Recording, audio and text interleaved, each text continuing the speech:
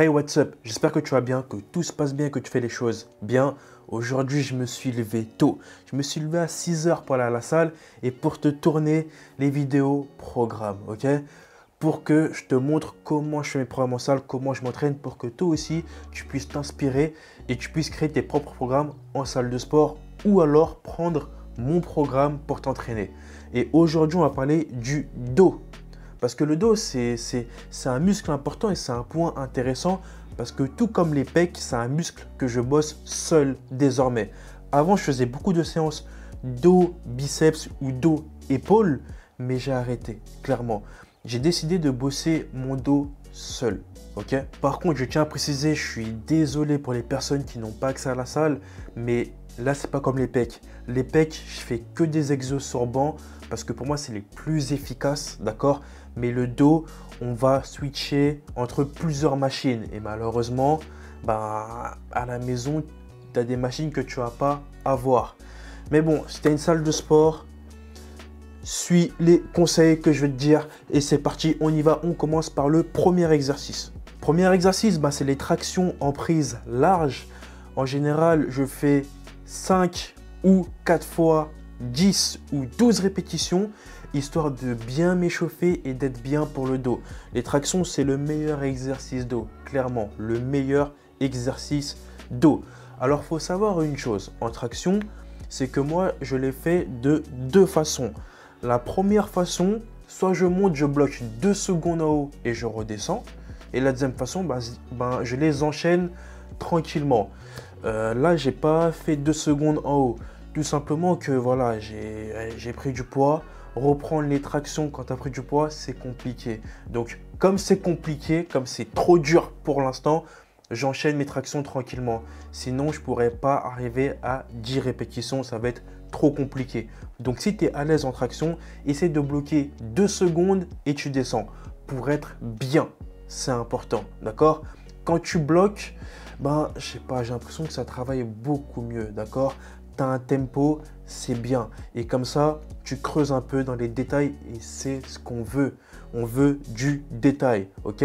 Alors, 4 fois 10 ou 12 répétitions avec 1 minute 30 de repos. Deuxième exercice, là je fais du tirage à la poulie haute en prise large toujours pour la largeur du dos, c'est important.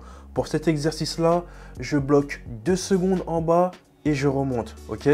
Parce que euh, je le faisais avant de manière euh, mécanique j'y mettais des gros charges et j'enchaînais directement mes, mes 10 répétitions en, lourd. Mais voilà, à force euh, de bosser comme ça et de pas trop me voir évoluer, j'ai décidé de bosser beaucoup plus intelligemment, baisser un peu les charges, garder 2 secondes et remonter. Là, je sens beaucoup mieux mon dos après les tractions et ça m'aide tout au long de ma séance à sentir mon dos et avoir un dos bien congestionné et bien sollicité c'est important. Il se peut que parfois, ben, je fais euh, deux séries où je bloque deux secondes, après je mets une grosse charge et j'enchaîne. Ça marche aussi. Mais pour ce programme-là et pour ce que je vais faire, eh ben, je vais faire mes 5 euh, fois 10 répétitions ou 4 fois 10 répétitions où je vais garder 2 secondes vers le bas. Parfois, je mets 12 répétitions, mais ça, c'est quand vraiment ma charge est très légère. Troisième exercice qui est tout simplement le tirage à la poulie basse. Là, pareil, je vais rester 2 secondes de contraction, histoire de bien sentir mon dos. Et par contre, cet exercice-là, je le fais en serré pour les détails. Ok? Il y a certains exercices, je les fais en large et d'autres en serré. Ok? Petit rappel, la largeur du dos, c'est pour avoir un dos bien large. Quand tu bosses en serré, c'est pour avoir un dos épais. Et moi, je bosse les deux. Je sais qu'une fois, j'avais fait euh, une, une, période de ma vie où j'avais, où j'avais deux séances d'eau, une séance largeur et une séance épaisseur. Mais là, je mélange les deux dans une seule séance. Je me dis que voilà, je me consacre à mon dos dans une séance et que mon dos qui va bosser. Donc, je fais largeur, épaisseur. Donc, en serré, 4 fois ou 5 fois 10 euh, ou 12 répétitions, repos 1 minute 30. Petite précision pour cet exercice-là, il se peut que tu n'as pas les mêmes prises que moi à la salle. Moi, j'ai pris une prise standard normalement qu'il y a dans toutes les salles. Dans, certaines salles, il y a des barres droites. Dans d'autres salles, il y a des espèces de prises un peu bizarres. Tant que tu as une prise relativement serrée, c'est bon, d'accord? Si tu une prise euh, où, tu, prends en, neutre ou, euh, ou, peu importe, d'accord? Prenation ou neutre, peu importe. Tant que tu as une prise serrée, c'est bon, clairement. Quatrième exercice, ça change pas, l'incontournable bûcheron avec halter. Exercice qu'on a déjà fait ensemble, si tu suis les programmes avec moi à la maison, c'est un exercice de construction. C'est un exercice de construction pur et dur. Ça, c'est l'exercice où quand tu veux des bosses sur le dos, et eh ben, tu le fais. Clairement, moi, j'aime bien faire 4 fois 10 répétitions sur ce mouvement-là pour être tranquille. Au niveau de la charge, essaye de prendre une charge assez lourde, mais que tu peux maîtriser. La clé dans cet exo, c'est de bien descendre et de bien monter. D'accord? C'est important. Le, bûcheron, c'est un exercice exécuté intelligemment. Si tu as trop, enfin si as une charge lourde mais tu fais bien le mouvement, tu as un mal au lombaire, n'hésite pas à mettre une ceinture parce que ça fait des parties des mouvements en musculation où certaines personnes mettent des ceintures. Moi également, quand je pousse, très très lourd. Petite précision, ces mouvements en unilatéral, c'est des mouvements qui sont parfaits quand tu as des retards, tu vois. Moi, j'ai un retard par rapport au dos, c'est mon point faible. Donc, ces mouvements, ils sont efficaces. Bosser en unilatéral, c'est efficace, vraiment. Donc, garde ça en tête pour tous tes retards unilatéral.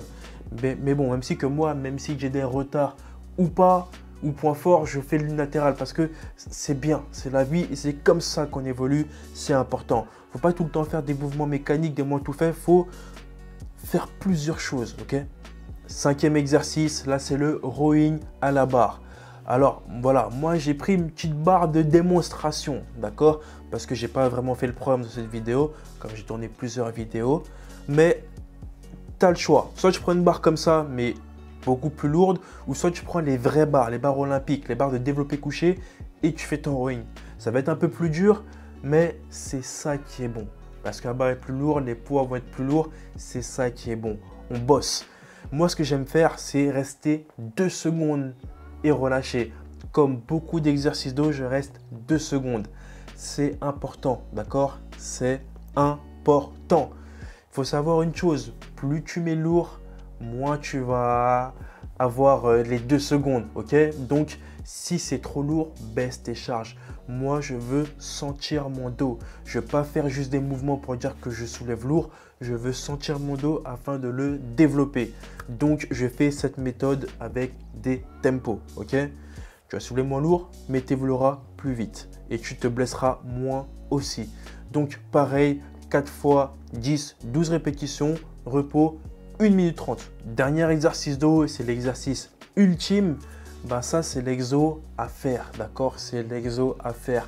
Tu as un retard au niveau du dos, c'est compliqué de bosser ton dos, c'est un exercice à faire. Et normalement, cette machine-là, elle est dans toutes les salles de sport. Elle ne sera pas, elle sera pas pardon, présentée de la même façon, mais tu peux trouver sur plusieurs marques de machines cette composition-là. Une machine d'eau où tu as des prises serrées et des prises larges, d'accord? Je sais que cette machine-là, bah, tu as des prises larges euh, au-dessus et sur le côté, que ce soit en pronation ou en neutre. Moi, ce que je fais en général, c'est que je fais 10 répétitions en série unilatérale d'un côté, 10 répétitions de l'autre côté, et après, soit je me prends euh, en, en, pronation, soit en neutre. Là, j'ai pris en neutre, et je fais 10 ou 15 répétitions. D'accord? Histoire de, fumer mon dos, de l'atomiser. Ça, c'est un bicep qui est excellent pour le dos que je fais et que je recommande. Parce que c'est l'une des rares machines où je sens vraiment mon dos brûler, où je sens que j'ai mal, où je sens que c'est terminé pour moi. Avec moi, il faut savoir une chose, j'ai un point fort au niveau des biceps, d'accord? Et tous les exercices d'eau, du moins la grande majorité des exercices d'eau, ton biceps est sollicité. Ça veut dire que de base, quand je fais une séance d'eau, bah, je suis très congestionné au niveau des biceps. Et si je fais les biceps avant, c'est mort, d'accord? J'aurai moins de force pour travailler euh, le dos. Et si je fais les biceps après, bah, je vais réfléchir dans ma séance à garder de l'énergie pour faire mes biceps. Et peut-être que je ne serai pas assez concentré pour le dos. Donc, je préfère dédier une séance complète à mon dos. Ok? Parce que en soi, les biceps, j'ai pas besoin de faire une séance complète. J'ai pas besoin de les, les fracasser comme avant. Avant, c'était mon objectif d'avoir des gros biceps. Maintenant, c'est bon, je les ai.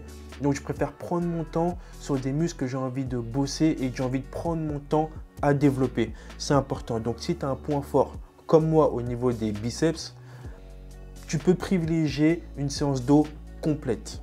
Mais t'inquiète pas, j'ai une séance euh, biceps, triceps qui arrive là. Donc voilà pour cette vidéo, pour ma séance d'eau que je fais en salle de sport. J'espère que tu as kiffé cette séance et que si tu l'as fait en salle, ben dis-le moi.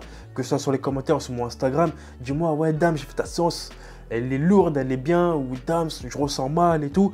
Si tu as un truc, dis-le moi, je répondrai. Je réponds tout le temps. Normalement, si tout va bien, ou si je réponds pas, tu m'envoies un message sur Instagram et je ferai le nécessaire. Parce que sur YouTube, euh, là, je sais pas ce qui s'est passé. Mes vidéos sont mises en avant d'un coup. Plusieurs vidéos. Ce qui fait qu'il y a plein de commentaires qui sont venus d'un coup. Et je sais qu'il y a plein de personnes que je n'ai pas pu répondre. Même sur mes anciennes vidéos. Parce que peut-être que le fait de revenir actif, YouTube ben, aide un tout petit peu. Et ça fait plaisir, ça fait du bien. Sachant que plein de personnes découvrent la chaîne. Mais ce qui fait que là, je comprends maintenant quand on peut pas répondre à tous les commentaires et c'est chiant. Donc, tu peux me suivre sur Instagram, m'envoyer un message, on va discuter et on va évoluer ensemble, ok? Donc, si aimé cette vidéo, mets un j'aime, d'accord? Mets un commentaire, abonne-toi à la chaîne, c'est pas fait. N'oublie pas dans la description, il y a mon code MyProtein pour avoir, il me semble que c'est 25% de réduction parce qu'il y a des réductions sur le site qui sont cumulables avec le code promo et aussi de rejoindre le Discord. Ok? Bon, sur ce, moi je te dis porte-toi bien et à la prochaine pour la suite. I need to know everything, who and the what and the where I need everything. Trust me, I hear what you're saying, but I like it's new what you're telling me. I'm curious, George. I hop in the Porsche, five and a horse. I'm ready for war. I'm coming for throats to turn to a ghost. I need to know everything. Now you be surprised at the info you get is by letting them talk, so I'm letting them talk.